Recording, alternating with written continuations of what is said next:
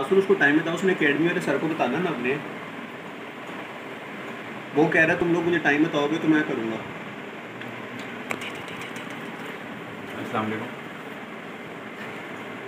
कि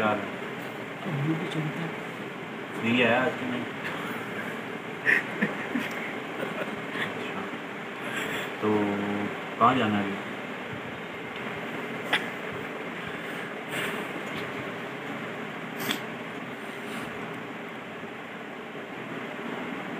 अभी साढ़े में तो साढ़े सात हो जाएँगे। साढ़े सात आठ बज जाएँगे हाँ आठ बजे के बाद मैं फारिग नहीं हूँ यार फिर अबू ने आ जाना घर में कोई नहीं है आज तो उनको खाना वगैरह देना। चलो फिर किसी उनका रख लेते हैं। चलो ठीक है। ओके।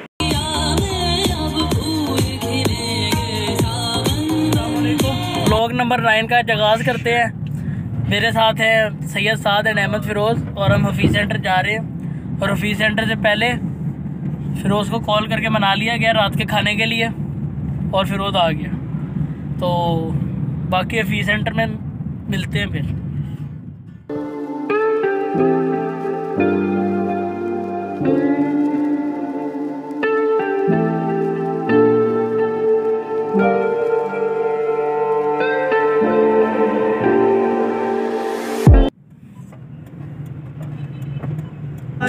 ਦਾ ਖਰਾਬ ਕਿੱਦਾਂ ਨਿਭੂ ਹੈ ਜਨਾਬ ਤੂੰ ਹੀ ਦੱਸ ਦੇ ਉਹ ਮੇਰੇ ਪੁੱਛਦੇ ਨੇ ਯਾਰ ਕੀ ਹੈ ਦਵਾ ਮੈਂ ਜਵਾਬ ਤੂੰ ਹੀ ਦੱਸ ਦੇ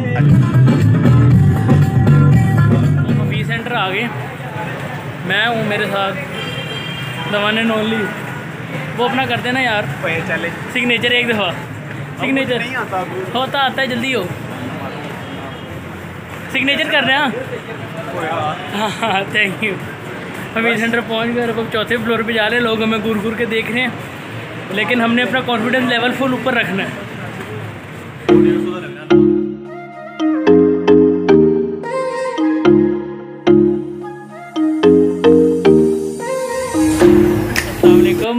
ये मैं फ़ी सेंटर आया हूँ। शॉप का नाम क्या अंकल? छप्पन ए शॉप है और यहाँ से हमने फिरोज का लैपटॉप लिया ये पड़ा। और बोलते हैं? चोरी का चोरी करके लाए हैं बकवास करते हैं चोर है। अंकल से लिया अंकल बहुत अच्छे कोई नहीं लिया हम हम उसे पकड़ कर लाए हैं तीनों को चोरों को। वो ताला लगा हुआ बाहर हाँ ताला लगा चोर है बहुत बड़े। अंकल दिल के बहुत अच्छे अगर आपने लैपटॉप लेना हो तो ज़रूर आए। थर्ड फ्लोर अभी सेंटर अभी सेंटर तो फिर मुलाकात होती है, अल्लाह हाफिज़।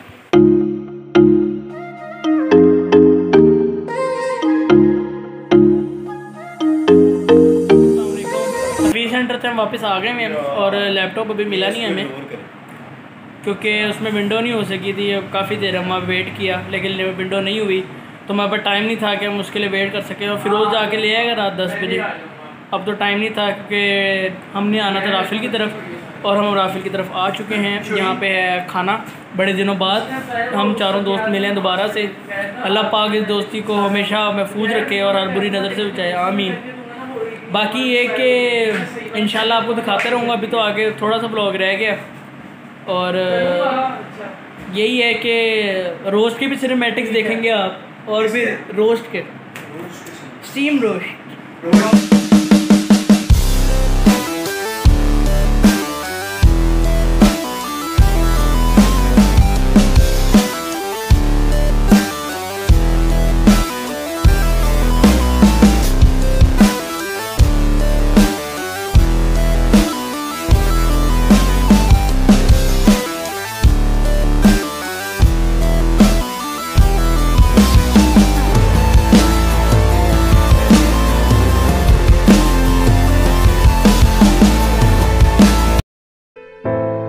ਹੱਸਦੇ ਚਿਹਰਿਆਂ ਦਾ ਮਤਲਬ ਇਹ ਨਹੀਂ ਹੁੰਦਾ ਕਿ ਉਹਨਾਂ ਨੂੰ ਕਦੇ ਕੋਈ ਤਕਲੀਫ ਨਹੀਂ ਹੁੰਦੀ ਉਹਦਾ ਮਤਲਬ ਇਹ ਹੁੰਦਾ ਕਿ ਇਹਨਾਂ ਨੂੰ ਤਕਲੀਫਾਂ ਨਾਲ ਡੀਲ ਕਰਨਾ ਹੁੰਦਾ इसकी पूछना मेरे से मैरिनेशन कैसे की? अच्छा आपने इसकी मैरिनेशन कैसे की है हाँ इसकी मैरिनेशन मैंने सबसे पहले हाँ, सबसे पहले मैंने इधर मैं बता रहा हूँ यहाँ अच्छा वो बैकग्राउंड म्यूजिक मेरा क्या कहते हैं अदरक लहसुन का पेस्ट लिया अदरक लहसुन अदरक लहसुन का पेस्ट लिया उसको कूटा है।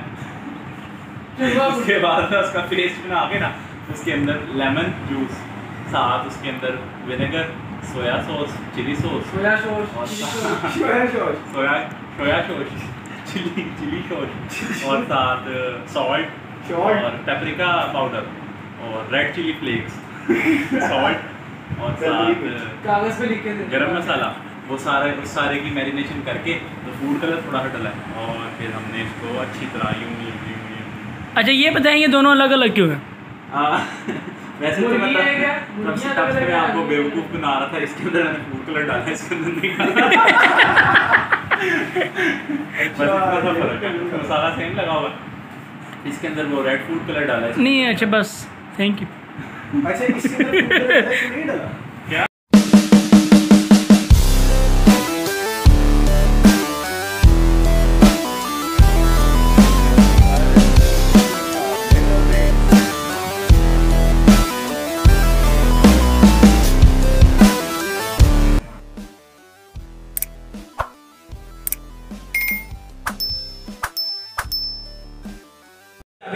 हल्का सा बाहर निकाल खुल जाएगा। कोशिश कर हल्का सा बाहर ना अपनी तरफ़ को घुमाना, ठीक है? लॉक आगे ले मैंने कहा